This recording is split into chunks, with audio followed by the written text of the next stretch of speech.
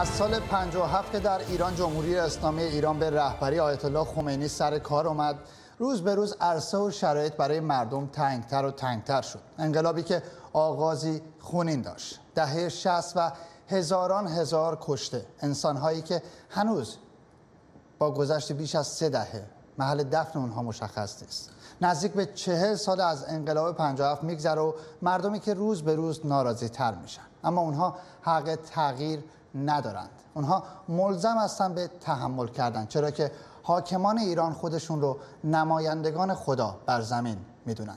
کوی دانشگاه 78 و مردمی که به خیابون اومدن. سرکوب شدن بازداشت شدن و برخی هم جونشون رو از دست دادن. و البته بودند کسانی نظیر سعید زینالی که با گذشت 19 سال هنوز مشخص نیست که چه سرنوشتی داشتن. حوادث انتخابات 88 و مردمی که بار دیگر به خیابان آمدن. اونها هم سرکوب شدن بازداشت شدن و باز جوانهایی که خونشون ریخته شد. خیلی ها در این سال 88 کهریزکی شدن. خیلی ها با ماشین زیر گرفته شدن و البته خیلی ها هم که در زندان جان باختن. سال 96 همین چند روز پیش باز هم مردم به خیابون اومدن و خواسته ای داشتن. تغییر و رسیدن به نظامی که مورد نظر اونها باشه. باز هم سرکوب بازداشت و مرگ.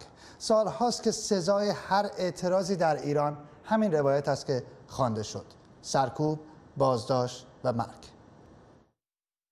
مردم بحرین حق دارند.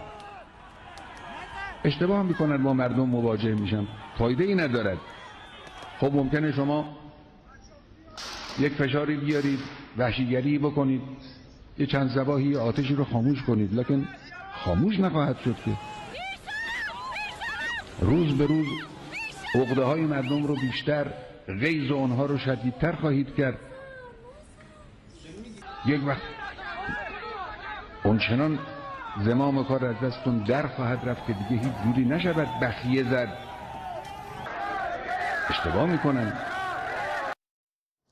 سال هاست که حق اعتراض فقط برای فلسطین سوریه لبنان.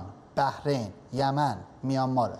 سال هاست که کسی به فکر رفاه و آسایش مردم ایران نیست. لکن اگر چنانچه یک ملتی رأی دادن ولو تمامشون به این که اعقاب این سلطان هم سلطان باشد این به چه حقی ملت پنجاه سال پیش از این سرنوشت ملت بعد را معین می کند سرنوشت هر ملتی به دست خودش است.